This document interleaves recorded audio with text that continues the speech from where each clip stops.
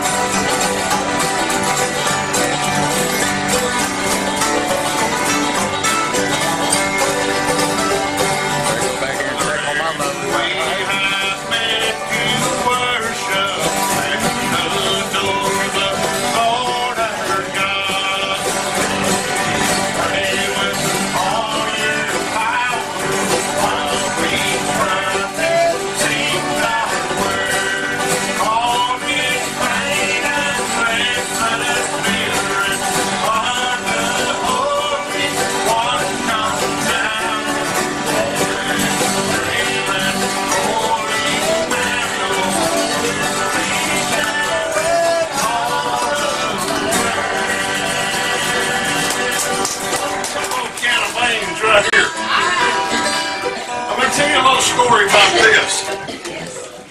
I found this thing over at the house some time ago at a yard sale. I asked the guy what he wanted for it, and it had ten strings on it. Little nylon strings. Boy, you could tune it and think you had it sounding like you might play something on it, and the next thing you know is out of tune. And I thought, what could I do with that?